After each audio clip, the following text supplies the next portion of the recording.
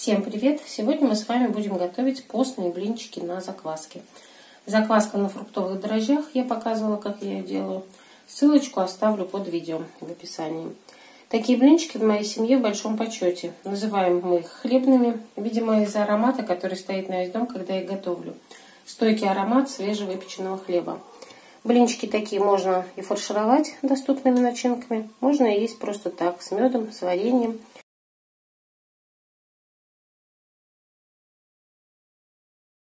Итак, достаю из холодильника закваску. Вот так она выглядит. Через несколько дней кормлю я ее не каждый день. Стоит она у меня в холодильнике иногда неделю не кормленная. Размешиваю. Оставила ее как-то раз на пару недель. Думала, все. Она у меня пропала и придется новую делать. Ничего подобного. Я ее подкормила, и она полностью восстановилась. Так, размешали. Запах сейчас стоит э, дрожжевой, спиртовой, вернее, даже. И отливаю 250 миллилитров. Один стакан.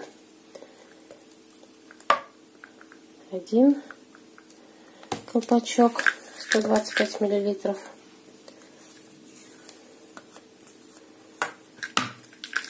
Обычно я так не вымеряю, могу вообще на глаз налить и все. Единственное, сейчас мне нужно вам сказать точные пропорции, поэтому измеряю. И вторая крышечка 125 миллилитров.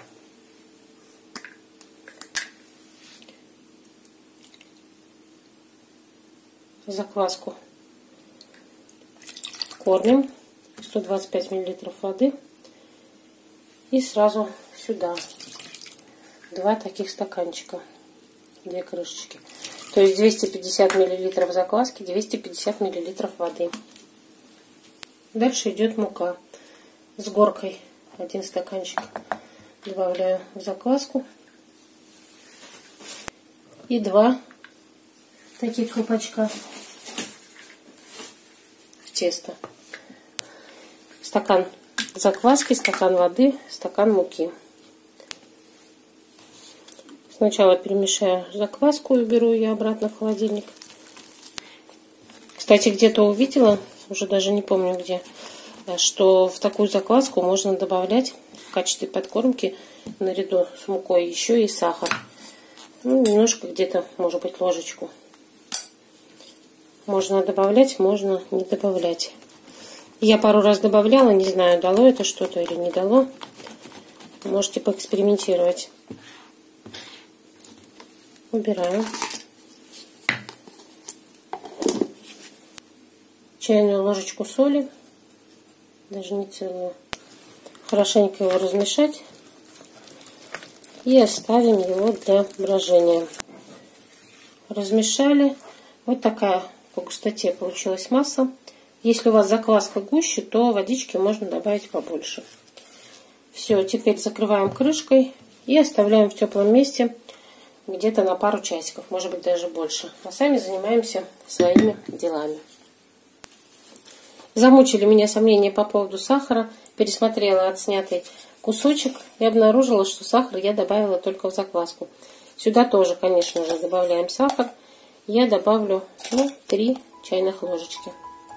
Если любите послаще, можете добавить побольше.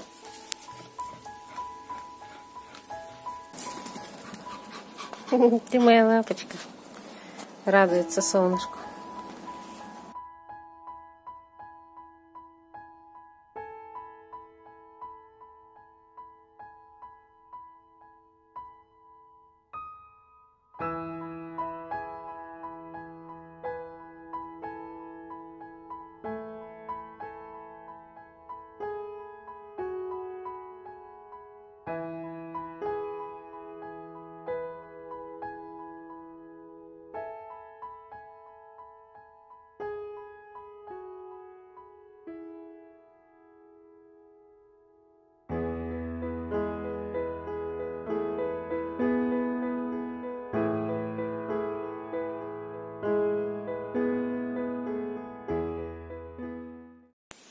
И через некоторое время тесто запузырится, очень приятный запах приобретет.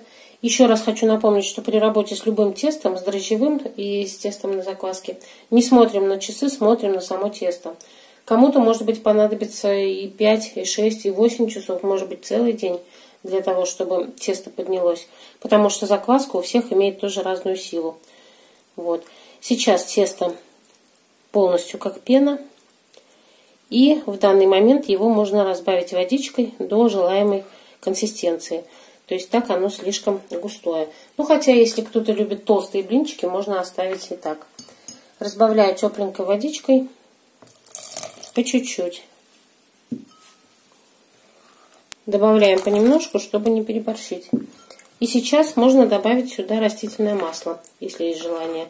Можно добавлять, можно нет, смотрите, как вам нравится. Вот такой густоты оставлю тесто. Дам ему буквально минут 15-20 ну, пока потихонечку начну разогревать сковороды, готовить масло для смазки сковородки. Через несколько минут тесто опять принимает вид пенки. Размешивать его уже не надо. Разогреваем хорошо сковороду. Смазываем растительным маслом.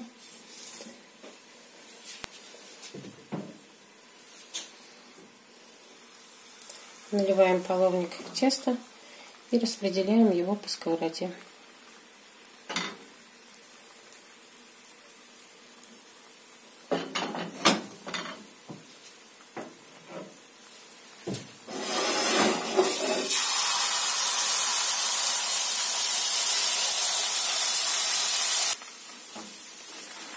После того, как нижняя сторона хорошо подрумянилась, отделяем вот так вот по краешкам сначала и переворачиваем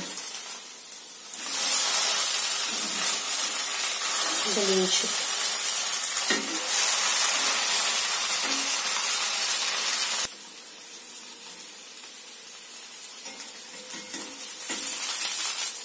Выкладываем на тарелочку.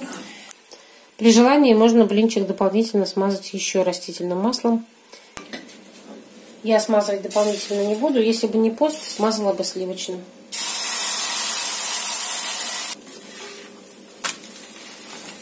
Наконец-то здесь подрумянился. Сковорода разогревается медленнее, но зато и остывает медленнее. Тепло отдает дольше. Стальная нагрелась гораздо быстрее. Вообще для приготовления блинчиков сковорода имеет не последнее значение. На тонкой сковороде, конечно, блинчики не получатся такими, как на хорошей толстой сковороде с толстым дном. Чем толще, тяжелее кастрюля, ой, сковорода, тем лучше будут блинчики. Румяные и красивые.